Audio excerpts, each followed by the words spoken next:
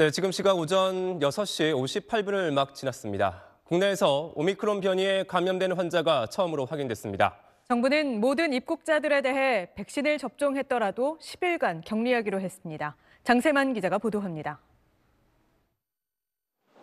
방역 당국이 오미크론 변이 감염 의심 사례로 우선 분류한 환자는 지난달 24일 나이지리아에서 입국한 40대 부부와 관련된 4명입니다.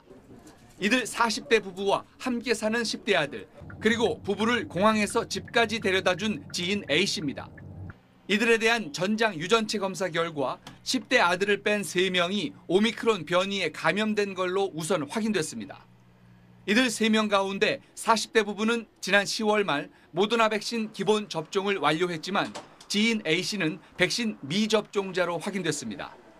10대 아들과 A씨의 가족과 지인 등 4명에 대해서는 현재 추가로 오미크론 변이 여부를 검사 중입니다. 이들 40대 부부 관련자와는 별도로 나이지리아를 방문했던 50대 여성 2명이 오미크론 변이에 감염된 사실도 확인됐습니다. 이들은 40대 부부보다 하루 앞선 지난달 23일 입국했습니다. 방역당국은 오미크론 국내 전파 방지를 위해 범부처 TF를 구성해 어제 1차 회의를 열고 방역대책 강화 방안을 내놨습니다. 먼저 기존의 입국을 제한한 아프리카 8개 나라 외에 이번에 국내 첫 오미크론 변이가 유입된 나이지리아를 추가로 입국 제한 대상에 포함한다고 밝혔습니다. 당국은 또 오미크론 해외 유입 감시를 위해 앞으로 모든 해외 입국 확진자에 대해 오미크론 변이 여부를 검사하기로 했습니다. 이와 함께 오는 16일까지 향후 2주간 모든 국가에서 입국하는 내외국인은 예방접종 여부와 관계없이 열흘간 격리를 해야 합니다.